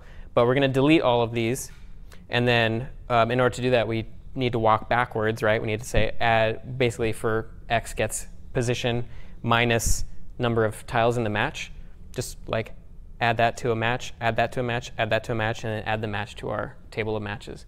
That's it for the like the x direction, and for the y direction, it's the exact same thing. Going down here, different color, different color, different color, different color, and then same color, same color, different color, but number of matches is three, right? Because one, two, three, and then it's going to walk backwards up to the top, add that match, and then just continue down here, same thing, same thing, and then same thing there. This is at the end of the column. So it's going to get to the end. It's not actually going to look for the next tile because there are no more tiles. But every time we complete a row or a column, we check at the very end, do we have the number of matches equal to three or greater? If we do, then we need to do the same logic as we did before by adding that match to our list of matches. So it's actually a, quite a simple algorithm, and this is sort of like the set of steps that is illustrated. Um, you know, we have a match found there. Oh, sorry, Tani, yes?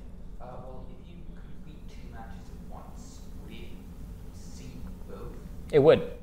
If you complete, the question was if you complete two matches at once, will it see both? Yes. If you complete, um, and it wouldn't if you deleted them as you went, because you know if you let's say you had like one, two, three here. I'm assuming that's what you mean. Yeah. Like one, two, three, one, two, three. If if you just deleted them as you went, then no, I wouldn't see them. It would go here, it would get these three, delete them, and then it would just see these two. But because we walk over the entire thing and then we only delete matches after all of the matches have processed, we're going to add this one first. And then when we do our vertical one, we're also going to see this one. And so it's going to count as two matches. And you could make your code a little bit more complicated if you wanted to and say if there's an intersection between two matches, I want to give the player more points or I want to give him some sort of effect. Like in uh, Candy Crush, I think you get like explosions, or Bejeweled, you get explosions if you get like a uh, like a T pattern, and if you get four in a row, you get like a like a laser or something across the screen. Like that's and actually part of the assignment is like clear a row. If you get four in a row, you should clear that row um, or column.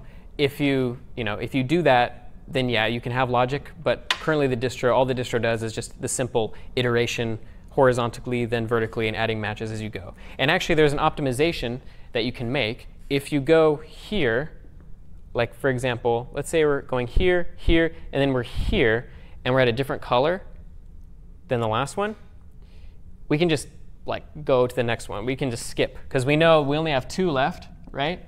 There's no point in looking for a match if you're at the uh, end minus two because there's no possible way to get a match. So that's just a shortcut, a little optimization you can make, and that's actually in the code. Just break off if you're at, um, in the code it's x or y uh, equals 7. Just go to the next, just break out of that for loop basically and go to the next uh, row or uh, column. Uh, yeah, any more questions as to sort of how that works? that's in the, uh, if you're actually looking in the code, we won't go over it in too much detail in class. Um, it's fairly straightforward, I think, once I walk you through the algorithm a little bit, but I'll point you to the lines, the relevant lines. It's in the play state, no, I'm sorry, it's in the board, in the calculate matches function. Um, here on line 50, calculate matches. So horizontal matches, y gets 1 to 8. It's looking, you keep a color to match, and basically you just keep track of how many you've matched. Match num is 1 always when you're doing a brand new color. Um, and then starting at x2 to 8, because we already got the first tile, um, basically if the color is the same, increment match num. Um, otherwise, set our current color to that color, the next tile. Um, if we've done this and uh, our match is greater than or equal to 3, then we found a match. We can add a match. We create a new table. We go backwards from where we are with uh, x2 gets x minus 1 and then x minus match num. So it works for no matter how long the match is, whether it's 3, 4, 5. Um, and then we're subtracting 1, and then you just insert a uh, into that match the tile at that x2 position because the matches are made up tiles. So a match is just like a group of tiles put together. And so you can intersect to any given match just by comparing the tiles and just seeing if they have the same tiles. Basically, that's how you'd get like a five, like a cross match. Um, and then after that's all done, just insert into matches that match. Uh, here's the a little optimization if x is greater than equal to 7, and this is in part of the loop where we've we already know that we're on a new color from the last color. We'll just break and then set match num to 1 if we haven't gotten to that point yet.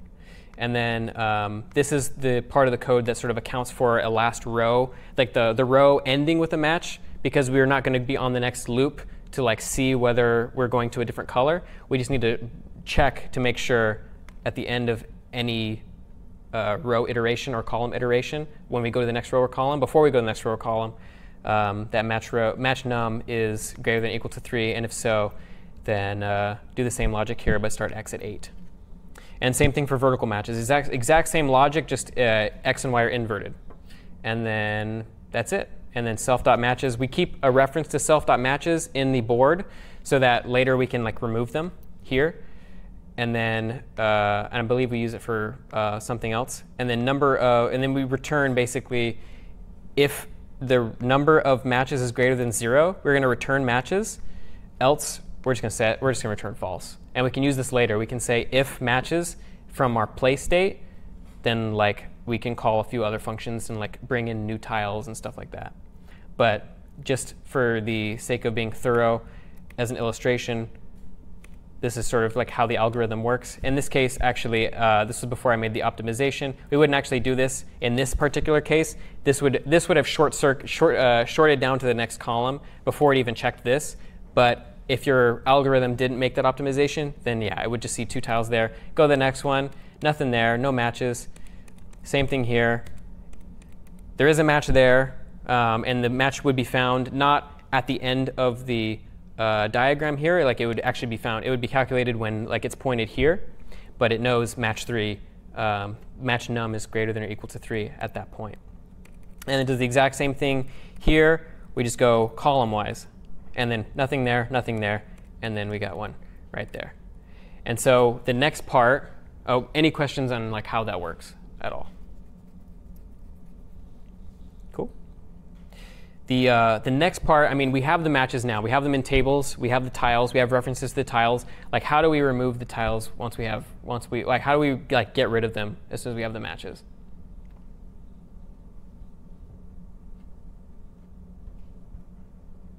Assuming that we have, assuming that our board is a table, the uh, a 2D table, and each array within there just has a tile object how would we sort of clear the board of our tiles? No, just just just remove just remove it from just like remove like that. Just remove it from play.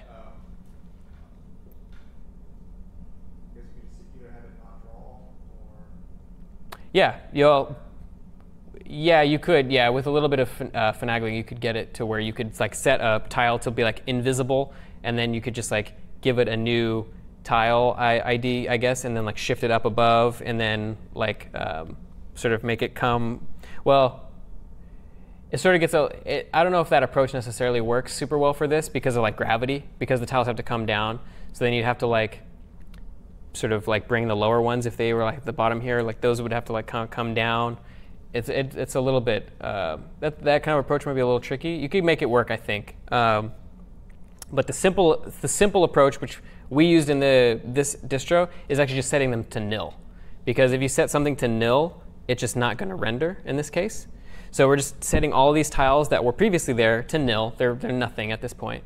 Um, they effectively would render like this if you tried to render them, assuming that your code accounted for it or it didn't break. Um, and then the next stage would be like the actual like getting the board fixed, right? Because we, we have the tiles removed. Like, so now we have this, this thing here, but there's a step that has to happen before we get new tiles, and that's gravity, right? Like, we have to actually shift everything down. So how, how do we go about shifting, like, tiles down? So, like, this first column, we don't really have to do anything, right? Like, this column's all set. But, like, what about this column? How would we shift, how would we get that tile to, like, go down? Sorry? Tweens, uh, yes, we could do it with tweens, but from a like data structure standpoint, like how would we? Because that'll just tween the x y, but that won't necessarily fix. Like the underlying data structure still has to represent the, what because we're going to do iterations over it. We still have to have references to the tiles in the right spots. So just shifting it within the table. Yeah. From the fourth row to the fifth row. So like, how would you like start by getting this tile down to like this position? Like switching it from the fourth row to you would. But how would your how would your algorithm work step by step to like making sure that that would happen?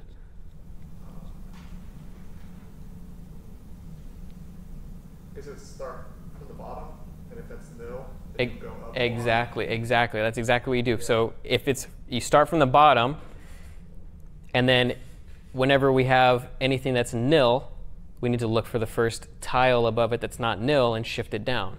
So in this case, we start from the bottom. We go up this way, we like not nil, not nil, not nil, not nil, not nil. So none of those are spaces in the code. They're, it's called space y, or space and space y. Um, so we go to the next column over, and we only have to check uh, vertically in this case. We don't have to do a horizontal check for anything because gravity can only fall in one direction. Um, so we just go over here. So we're only looping through this code effectively, um, in this case five times, but in our uh, code eight times. But it needs to be a while loop rather than a for loop, and we'll see why in a second. But start here, oh, we see, oh, we have a space there. So what we need to do is like say, okay, the lowest space is here. So we need to look for the next tile above it and shift it down. So we keep a reference to this, and we look up here, and we say, oh, this is a tile. Perfect. So I'm just going to take this tile, and I'm going to set that space index to that tile. And then I'm going to set this index to nil. And then we just have to start again, though, from here, because if this, this tile is now space, right? So we have to look up here and say, oh, OK, so our basically our y counter stays at that thing and just goes back up. Because our y counter could theoretically come all the way up here before it finds a tile and then shift it all the way down. But we can't just, or here, let's say, let's say there are two tiles right here. We, our y counter might end up here because these are all spaces, and the tile gets shifted down here, but we can't just start our y counter back here again and go up to the next tile and look for spaces because we have all these spaces down here. So it's a while loop. So while basically there are no spaces on any of these points, we need to make sure that we keep lowering the tile. So keep a reference here, tile here, bring it down, space here. So we keep a reference to a space. We say, oh, there's a space here now. We look all the way up, but there's no tiles anywhere. So we know that we can just move on to the next iteration of the loop. We haven't found any tiles. We don't need to bother with it. Same thing here. We have a space reference here. Tile, found a tile, shift it down. Space here, tile here, shift it down, space here, tile here, shift it down, space, space, done. And then we rinse and repeat that. Just kind of almost like a bubble sort type of algorithm, not, not like not a sort, but it sort of has the same sort of look and behavior to it, more or less. We like here's a, just a visual sort of illustration of it. So start from the bottom, go up. We're looking for spaces here. No spaces. Column is perfectly stable. We found a space here. tiles there. Shift it down. Restart the loop from the tile space, space, space, no more spaces, column stable. Space found, tile found, shift, space found, tile found, shift, space found, tile found, shift, and so on and so forth. And so that's the gist. Super, super basic.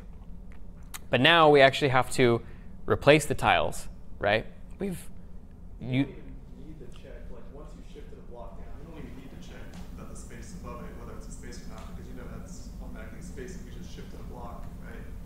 Uh, yeah, actually, that's true. Yeah, I guess in that case we wouldn't need to. Um, but we do need a, a, reference to that space and like keep checking above it. Right. So, um, but yeah, I guess you, you probably don't need necessarily to check whether it's a space or not. You can just assume it's a space. And I actually think my code does that. I'm not 100% sure off the top of my head. We can check and see. It's in. Um, uh, I think it's down here.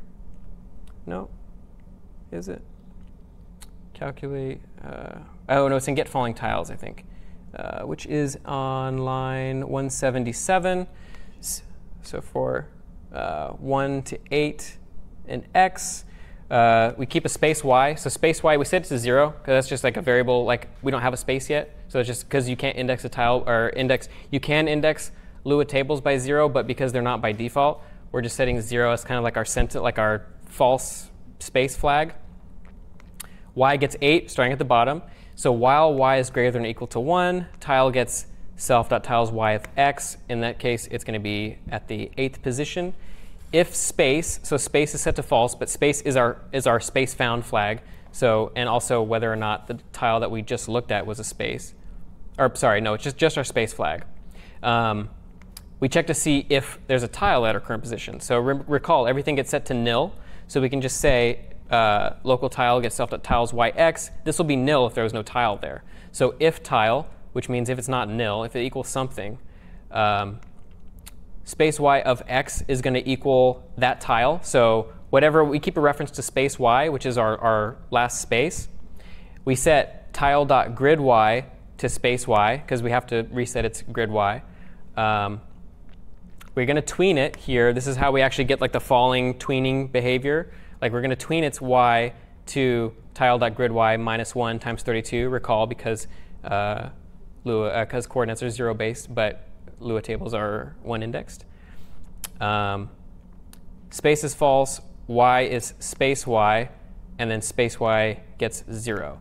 So yeah, so we're going to start, basically we're going to start at the um, we're going to put space y to that um, tile, and then we're going to um, set space y to zero. I think it actually does, um, in this case, it is actually checking that tile to make sure that it's, um, yeah, because it's just getting set to the tile. Uh, the space y being the tile that we just replaced and just put into an actual spot. So it does actually make the check up above to see whether that's a space or not. Only one caveat, though, actually is no, actually, no, that wouldn't be true. Yeah, I was going to say if we're at the top of the screen, but no, because there's no way we can be um, at the top of the screen and have a, yeah, I don't think it would work. So yeah, optimization, small optimization you could make is, yeah, just assume always a space, yeah. Um, but uh, yeah, that's, and that's the falling, that's the like get falling tiles in a nutshell, or at least the, the ones that are falling from gravity. And then we also have tiles that we want to add to um, replace them. And so we'll see that here. So this code. So what we need to do um, to replace, uh, just like, what, what, do you guys think we, we need to do to, to get replacement tiles?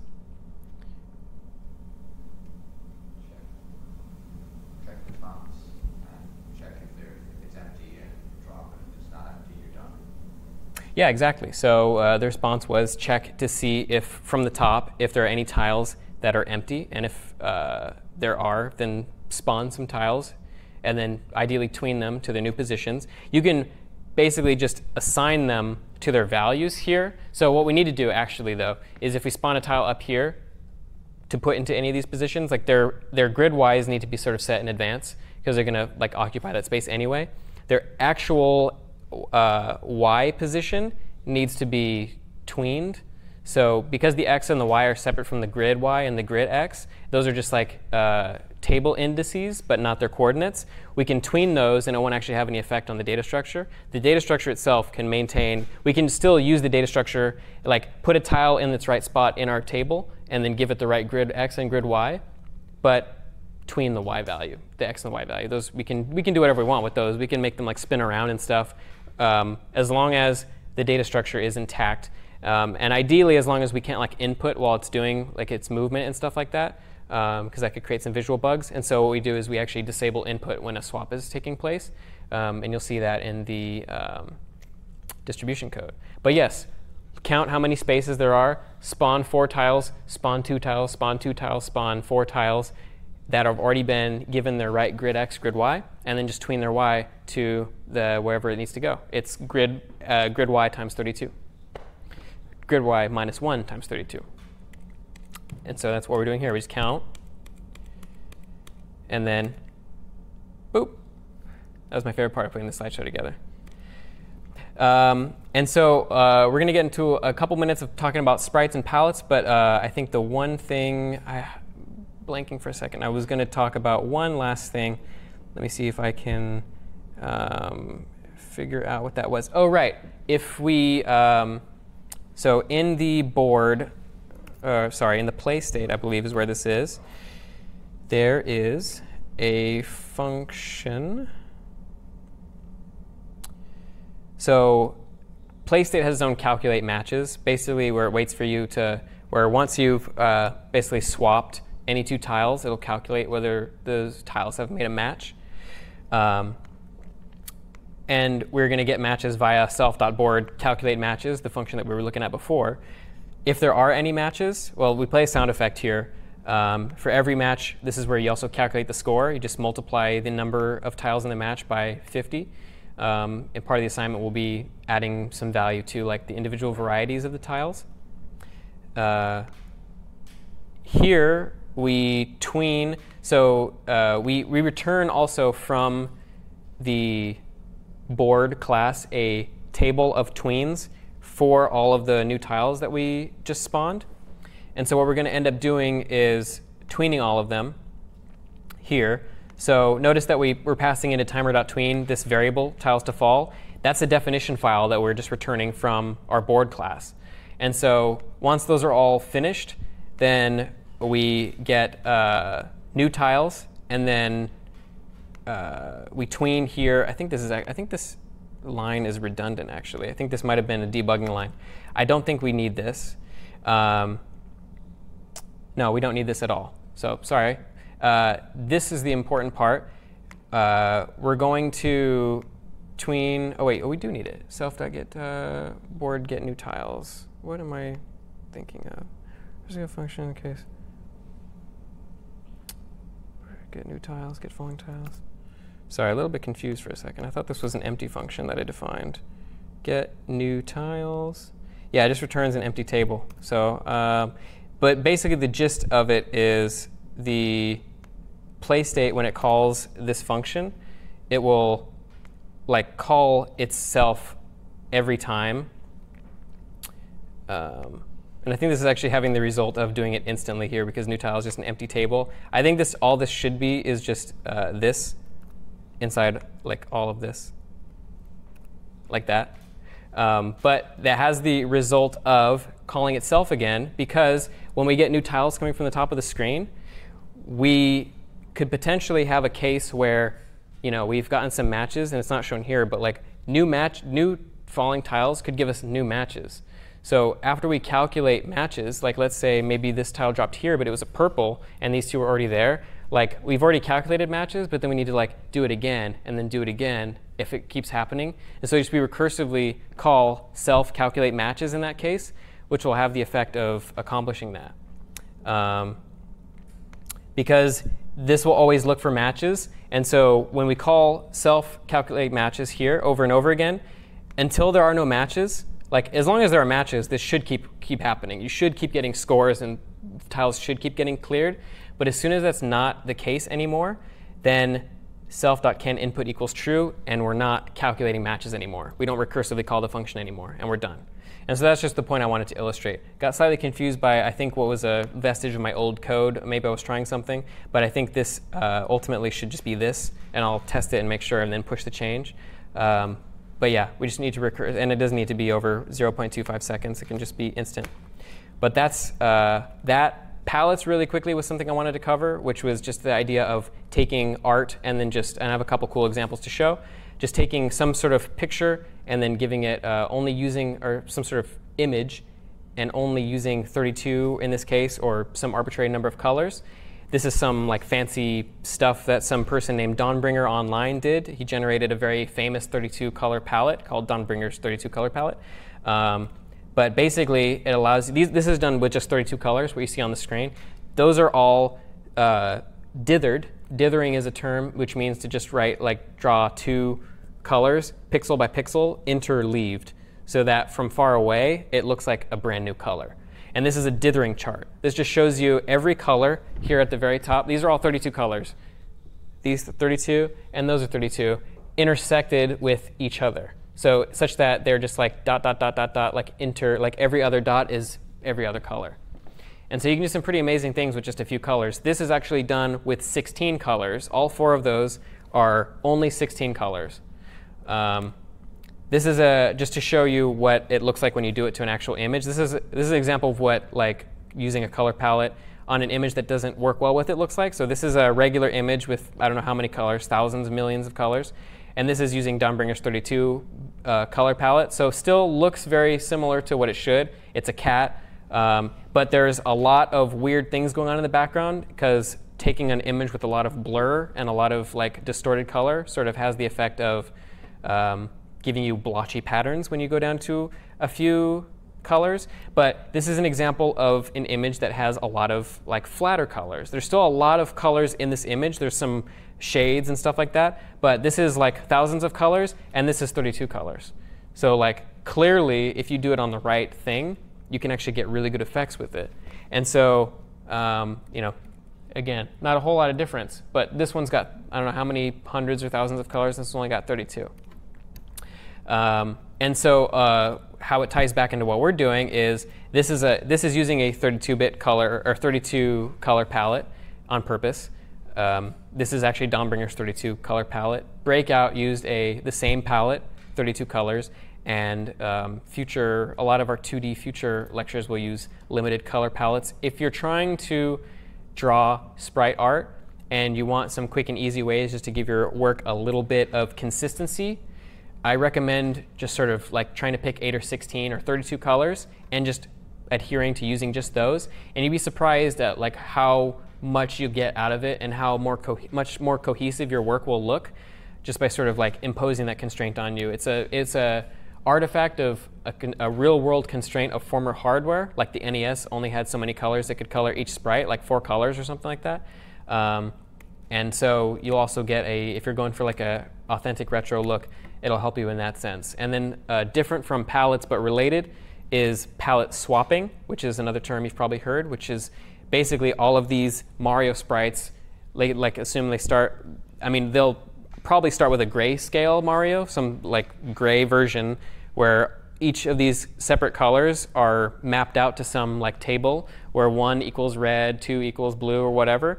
And then you can just shift all of them, and then you get all of these different nice effects, assuming that you've you know created a uh, palette, a good palette. You can get um, a lot of reuse, and this is actually how um, Super Mario Brothers used to do some of its programming. The clouds and the bushes were the same sprite. One was just colored green. It was palette swapped green from the white that the cloud was colored. Um, so that's that's the gist of match three. Um, assignment three is going to have a few parts to it. So time addition on matches. So when you get a match, you should get time added to the clock. Currently, right now, you only get 60 seconds. Um, it's a little bit hard to actually get past level two at this point. So getting points for every tile in a match. Um, make it so that level one starts with simple flat blocks. So earlier we saw the array of tiles, and it was flat tiles on the first index of every color row, but there are several other patterns like X's and circles and triangles and stuff. Make those worth a, some higher amount of value, each one.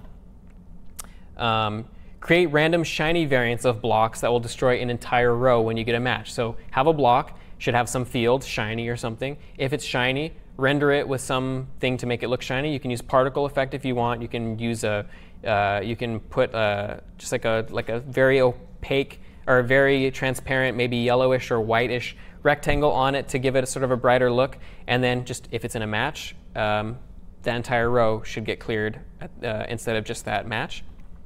Um, swap only allow swapping when it results in a match. So this is an important thing because right now, mathematically, it's actually very unlikely that you'll get a board that has um, matches on it to begin with. So you're going to have to pick a subset of tiles in the in your implementation and actually use those in instead of just using all of them. Like pick six tiles, which you can get variants on, or just uh, whatever flat colors, and then you use only those to spawn your board. Don't use all 18 or however many there are.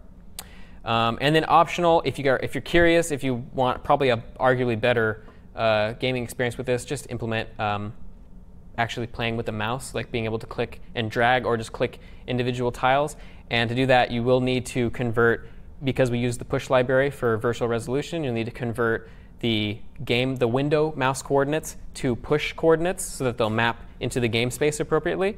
And so you'll use a function called push to game, or it takes an x and y, where the x and the y will be your mouse coordinates.